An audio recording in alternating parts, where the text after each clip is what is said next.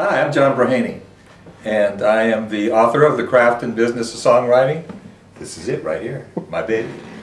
Um, so uh, I'm, I want to give you a, a, a, quick tip on, on uh, songwriting. This is something that is uh, very important because uh, in terms of making your song uh, uh, have an impact on a, on a listener, it's very important that we can establish some uh, contrasts, some, some dramatic contrast between, particularly between the verse and the chorus, so that people, uh, when they're listening to it, uh, their attention is grabbed again by that change.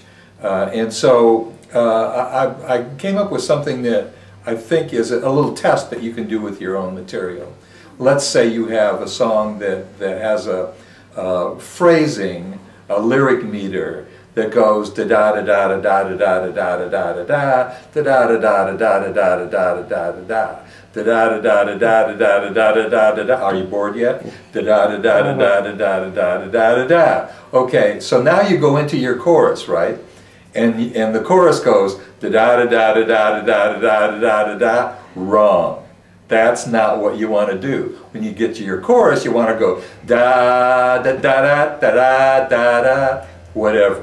But you know, you want to break that pattern.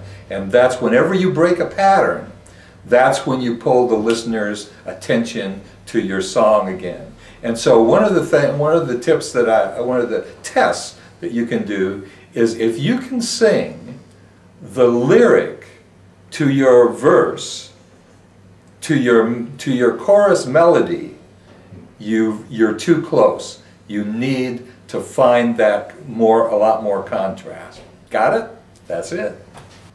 So if you'd like some more of those kind of uh, tidbits on songwriting, uh, check out my book. Uh, find it at any of, uh, of your local bookstores and um, or, or online. And uh, also I'll be doing a couple of, of, free seminars coming up real soon. Uh, in Sedona, Arizona on Thursday, January 22nd. I'll be doing a free salon. It's a kind of a house thing, a real, real comfortable situation. Uh, and on, uh, in Phoenix on January 24th, Saturday, uh, the Arizona Songwriters Gathering. Uh, the 13th annual is going to be there, and they are, uh, there'll be not just me, but others, uh, a couple of hit songwriters also will be doing there to teach, and we'll be doing some critiques there as well. So uh, you can find out about those at my website, uh, www.johnbraheny.com, and I uh, look forward to. So if you